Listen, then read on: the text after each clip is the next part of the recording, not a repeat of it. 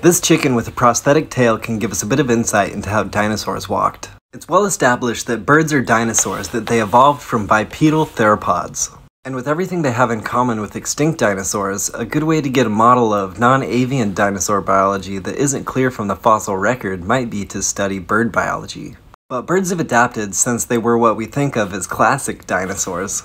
For one, they've lost their tail, and that would change their center of mass, pushing it forward. The researchers strapped some clay and wooden plunger-looking tails onto the backs of chickens to see how it changed their gaits. Altogether, they had three groups of chickens for the experiment. The experimental group with prosthetic tails, a control weight group that got a weight placed on their back but didn't get no tails, and a regular ass unmodified chicken group Every five days, as the experimental group grew, they were outfitted with a new tail that was about the length of its body and about 15% its weight.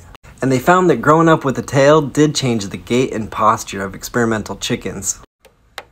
They shifted their weight forward and had a more vertically oriented thigh bone. Basically, they moved like how we classically think dinosaurs moved.